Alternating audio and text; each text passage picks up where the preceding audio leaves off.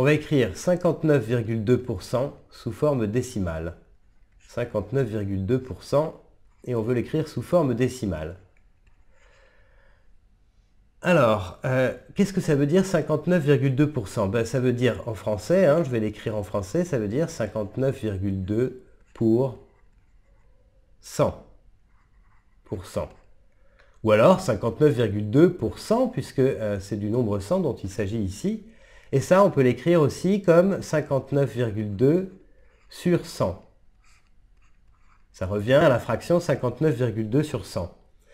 Euh, mais 59,2 sur 100, rappelez-vous, c'est exactement la même chose que 59,2 divisé par 100.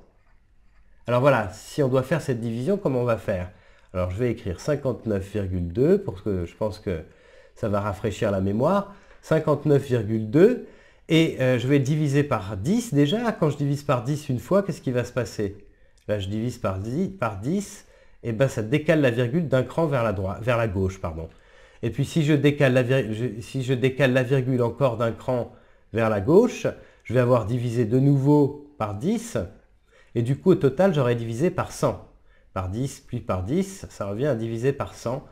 Donc j'aurai la virgule qui viendra ici, devant le 5.